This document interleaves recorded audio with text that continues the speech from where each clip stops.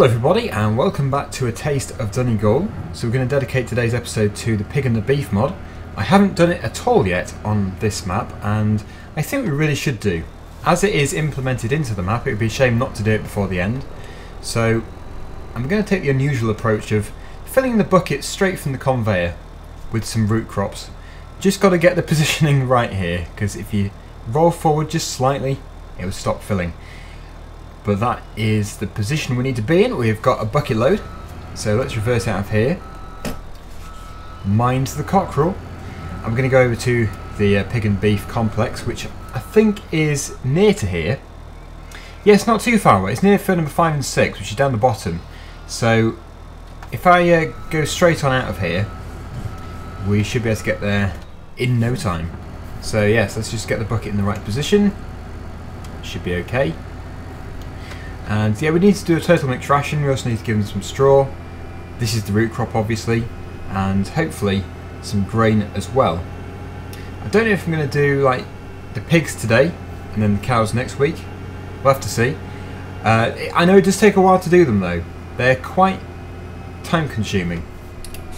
But yeah, let's at least do one of them today. Starting off with the pigs. So from here, we have to go right.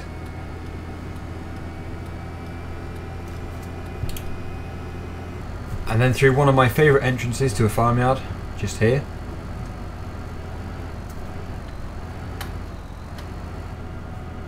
Quite a, a steep, bumpy track this. So I think the pigs are first. Well, basically, whatever's first will do, uh, just for simplicity's sake. So what is this here? Not sure. Uh, I think it's a guessing game. So uh, yeah, I, I don't know. Anything on this side? No. Okay. So there's nothing distinguishing between the two sheds. So we're just going to have to buy the pigs, I think, and see which shed they appear in. So they're very cheap, only £75 each. I'm going to buy maybe 50, and then we will resume. That's 48, and there we go, 50 pigs. Fantastic. I guess the right shed. 50-50 chance and looks like we went for the right one. So that's good, let's get this into the storage point for the sugar beet or the root crops. It doesn't really matter how much we give them to begin with because we can always top it up later on. I think the uh, default root crop is a potato actually, but it will still accept it hopefully. Should do. There we go. Yes, that is kind of strange. You uh, you put in sugar beet and a load of potatoes appear. It's like a magic trick. As we have still got half a bucket load, we might as well put this in the cow's side, otherwise it's just a waste. So let's tip this in here. More magic potatoes. Whoa, that was even more impressive. That's because we don't own any yet. So actually, thinking about it, as we already, as we already uh, are here with what we need, we might as well just do both together. Otherwise, it's just very time consuming and it'd be a bit of a waste of time. So the, the beef cows are actually quite a bit more expensive. They're £50 more. So we're going to still buy 50, uh, but it will be a bit more pricey. That's 50 beef cows.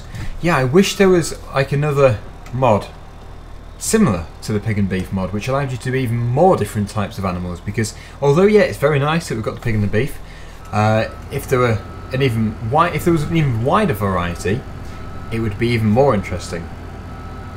Got a tiny bit left in the bucket, 5%.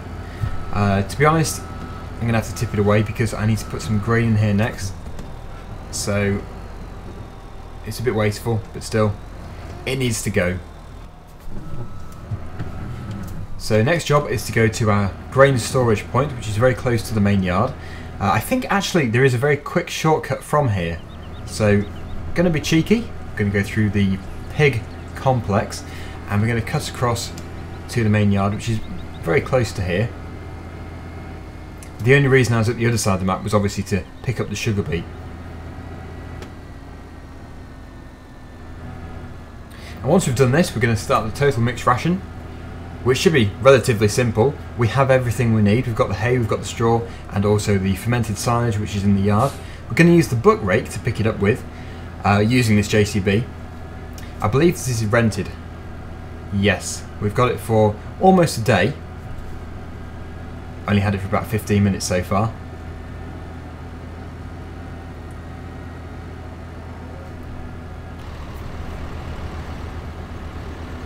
And I think we do have to go back around and onto the road to get to the storage point, but it is just next door to here.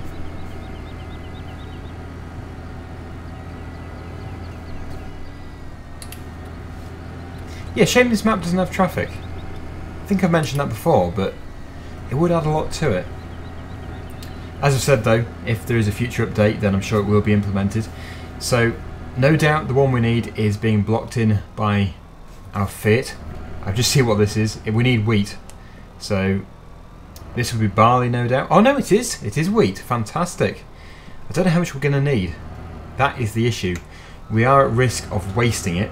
I guess I could bring it back again. But let's take this over there. Back through the main yard and straight to the pig and beef complex.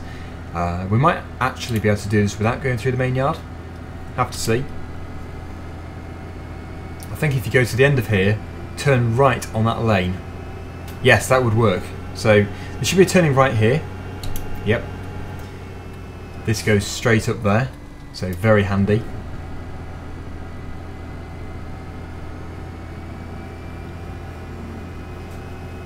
Yeah, I really like how everything is so close together and you know exactly where everything is. Our grass fields have totally grown back again. Feels like just five minutes ago I was doing that mowing. Oh way up, we've got stuck. We're stuck, let's put diff lock on. It is a bit wet here.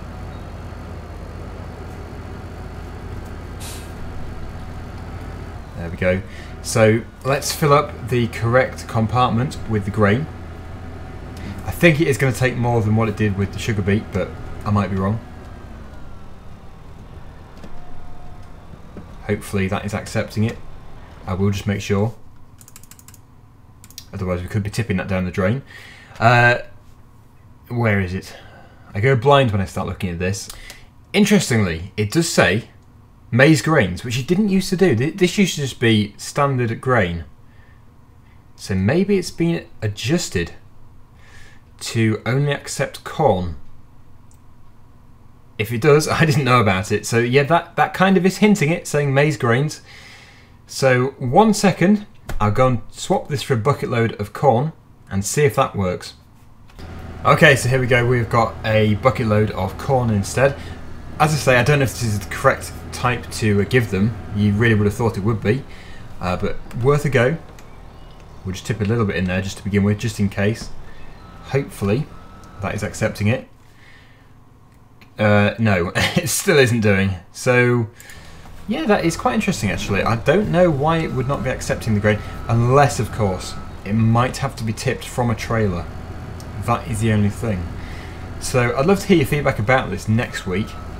Um, for next week, so I can hopefully improve on that.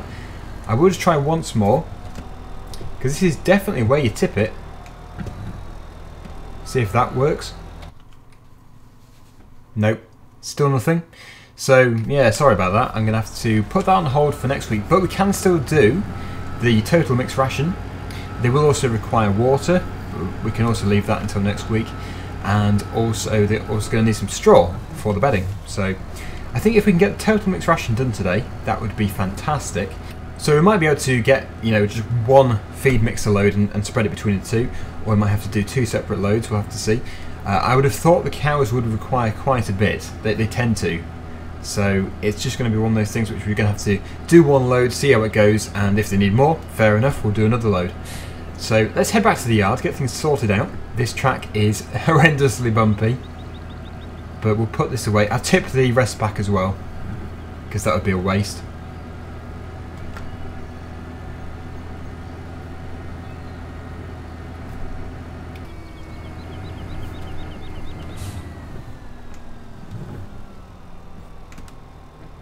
Okay, so that is that done.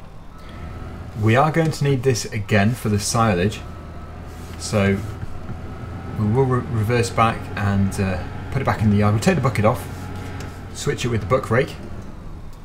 And I'm going to have to try and choose the best tractor for the job of powering the feed mixer. I think if we just put the bucket here. Otherwise it's likely going to get in the way. Feed mixer's there. And the buck rake is just around here. There's our Fusion 2 baler.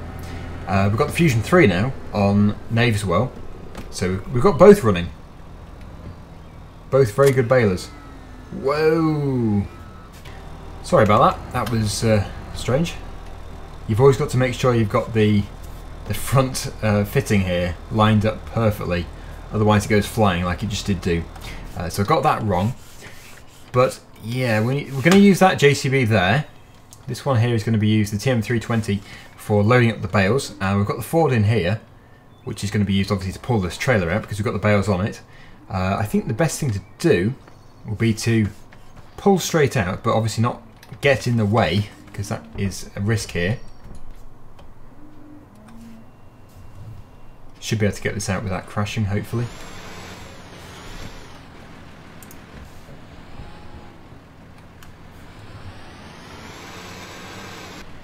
The bales are detached, so technically they could have come flying off. But I think if we leave this here, we've then at least got access to the silage pit. So actually we could still use the Ford as the tractor to power the feed mixer because the bale trailer doesn't actually need a tractor attached to it. So let's reverse and we'll go and get it. I do like these Fords, they are fantastic tractors.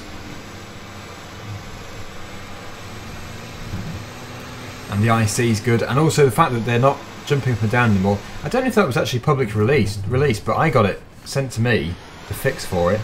Uh, haven't really been keeping a too closer eye on the mods recently. I've been looking at the maps, but not so much on the mods. Uh, so, not sure if there was an update for this tractor. But yeah, I got sent the uh, the anti-disco version. So it didn't go dancing across the map. You can probably remember uh, the, the bouncing wheels and the rocking cab, which was quite interesting to see. Here's my atrocious reversing. Usually not too bad at reversing, but today clearly not any good. So I'm going to put it in a, in a position where it's not going to be in the way too much and we're going to have access to everything. We obviously need to have the hay but This is terrible. This is terrible. How am I doing it so badly? Yeah, we need to be able to get to the hay bales as well. So I think if we put this here, we'll leave the engine on because obviously it's going to need to power the mixer. So we'll jump out.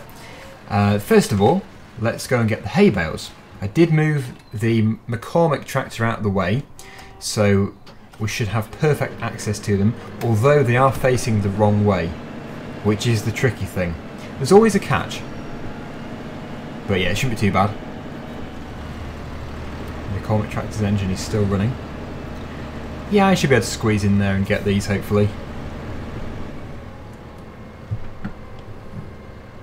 It's not ideal. But, you know, as long as we get them. Here's the first one. Would be easy to do two at a time, but couldn't quite get two on there with the position they were in. So that is mixing. Now for the second one.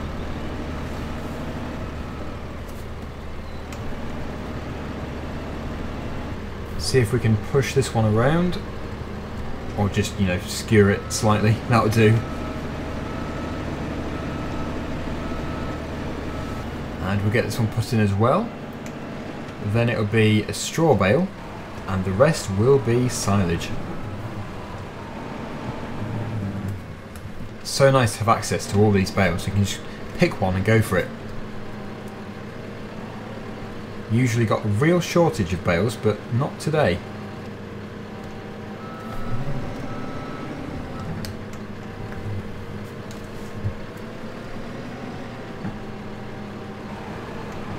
And now we can move out the way with this one.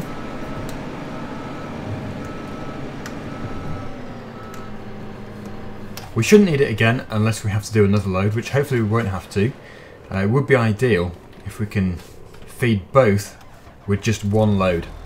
I guess we could just, you know, split it over the two and not give them the full amount.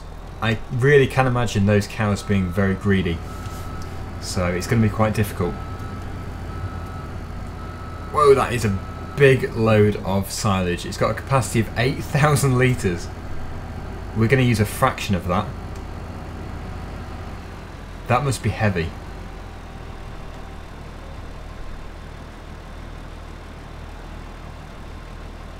Although, it, it did actually take quite a bit.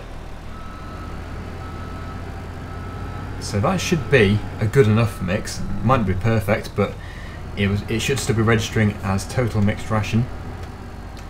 And even if it doesn't, it will still be good feed.